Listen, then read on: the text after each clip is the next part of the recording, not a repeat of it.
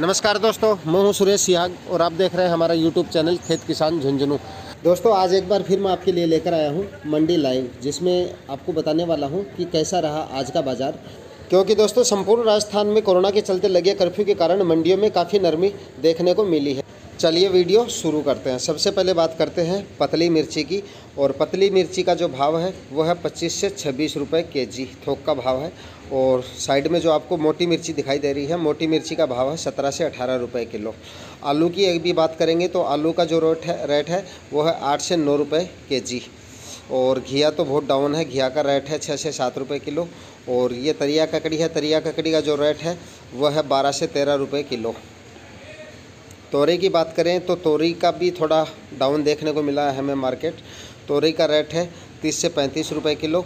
और ये गोभी पत्ता गोभी पत्ता गोभी का जो रेट है दस से बारह रुपये किलो। खीरे का जो रेट है सत्रह से अठारह रुपये किलो चल रहा है खीरे का रेट। ये भी थोड़ा सा डाउन देखने को मिला है।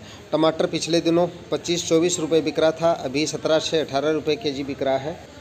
और गंवार फली की बात करें तो फली की रेट है सत्तर रुपये के जी अभी ये एक दो दिन से देखने को मिली है।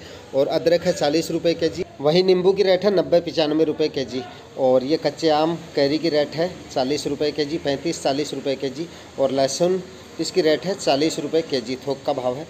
और दोस्तों, अब बात करेंगे प्याज की। और प्याज में भी काफ़ी नरमी देखने को मिली है। थोड़े दिनों पहले ग्यारह बारह रुपये के जी बिक रहा था, और अभी बिक रहा है नौ दस रुपये के जी।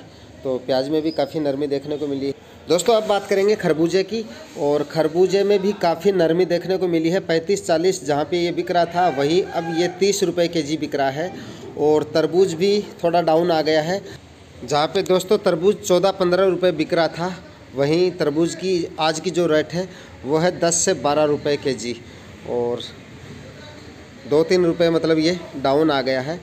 और थोड़ा कारण इसका बारिश का भी हो सकता है। थोड़ी बारिश के कारण भी थोड़ा सा इसमें नरमी हो सकती है। और अभी आने वाले दिनों में कैसा रहता है बाज़ार, वो तो एक दो दिन बाद ही पता चलेगा इसका। दोस्तों, आज के वीडियो में बस इतना ही। मिलते हैं किसी नए वीडियो में नए टॉपिक के साथ। तब तक के लिए जय हिंद।